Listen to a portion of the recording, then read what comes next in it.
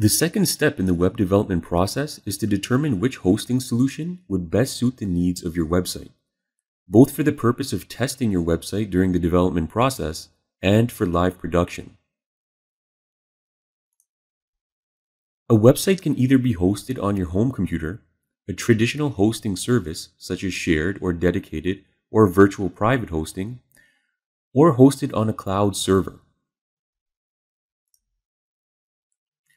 So, which type of system would best suit your needs? Well, before we answer this question, there are several factors to consider. Will this site be accessible by the outside world or the public internet, or only available to users within the local network? Will this site be very resource intensive? For example, will it be a small static site with only a few pages and text data or a dynamic database driven website with a high volume of traffic, perhaps even with large amounts of video and high resolution image content. Do you need the hosting platform to be scalable? Meaning, do you expect to start off with a small site that can gradually grow into something much larger, which will require more resources? Or does your website require different amounts of resources at different times? For example, Say you run an online business that gets heavy traffic in certain months but barely any in others. What types of programming technologies will this site require? For example, will this be a database driven dynamic website?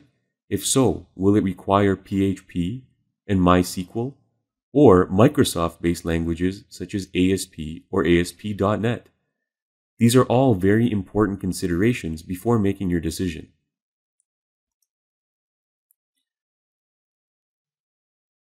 So let's start with the first scenario. If you do not intend to make this website publicly accessible, then you will likely be hosting it on a system within your own network. For this to work, you will need to configure the system to work as a server.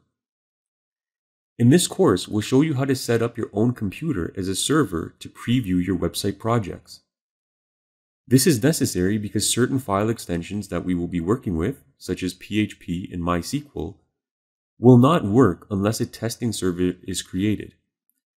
Keep in mind that you do not need a testing server to view basic HTML pages.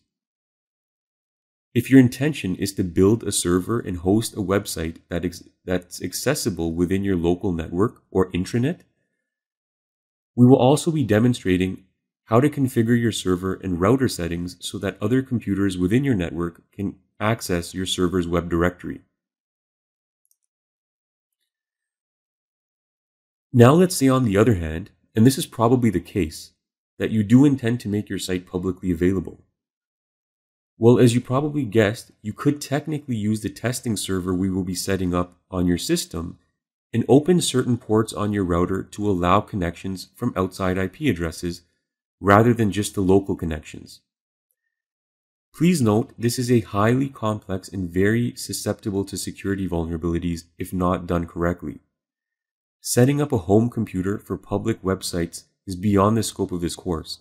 It is also not a very good practice and requires a static IP address, which can be quite costly and outweigh any potential benefits.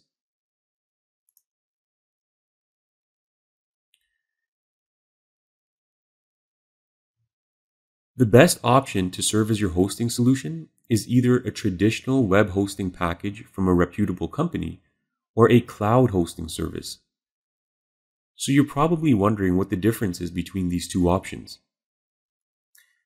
When we say traditional web hosting, we're referring to the pre-assembled packages offered by hosting companies such as GoDaddy or HostGator, just to name a couple. These are two examples among many other companies out there. The reason we identify them as traditional is because the latest web hosting solution that most web developers are now gravitating towards is cloud hosting. We'll get to cloud hosting in a minute.